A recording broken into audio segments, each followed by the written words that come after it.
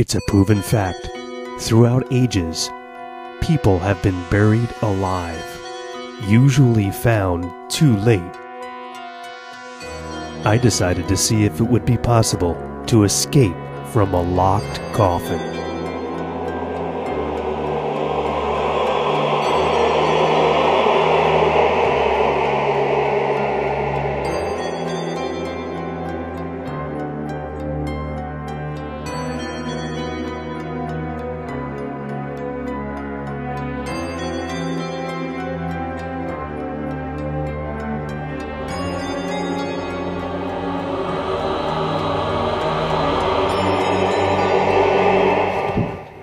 Okay, I'm inside the coffin.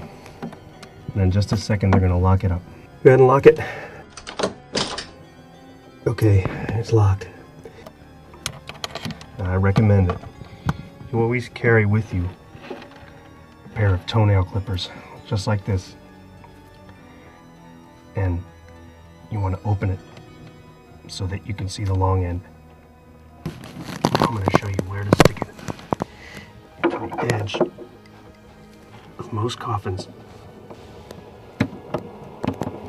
Right about there. Right about there. What you can see is not far from the very edge, about eight inches from the edge. And then you're going to take it and you're going to slide it just like that.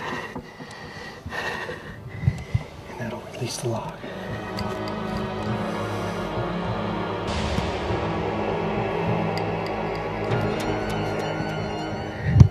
That's how you escape from a coffin.